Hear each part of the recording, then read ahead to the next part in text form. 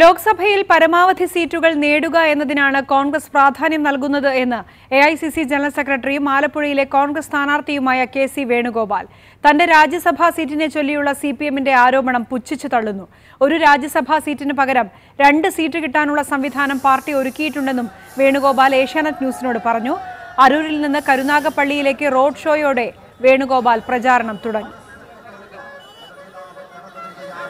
ഈ പോരാട്ടം നരേന്ദ്രമോദിയെ താഴെ ഇറക്കാൻ വേണ്ടിയുള്ള പോരാട്ടമാണ്. അത് ലോക്സഭാ സീറ്റുകളുടെ എണ്ണം വർദ്ധിപ്പിക്കുമ്പോഴാണ് ആ പോരാട്ടം ജയിക്കുക. ആ പോരാട്ടം ജയിക്കുന്നതാണ് ഏറ്റവും മുന്തിയ പരിഗണന. ബാക്കിയെല്ലാം രണ്ടാമത്തെ പരിഗണനയിലാണ്. ഒരു സംശയവും ഇവിടെ രാജ്യസഭയിൽ ഞങ്ങൾക്ക് പ്രാധാന്യമാണ്.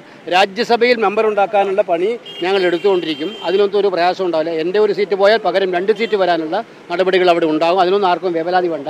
രണ്ട് കൊല്ലത്തേക്ക് എന്റെ കാലാവധി പോകുമ്പോൾ അതിന് പകരമായിട്ടുള്ള ആളുകൾ അവിടെ വരും.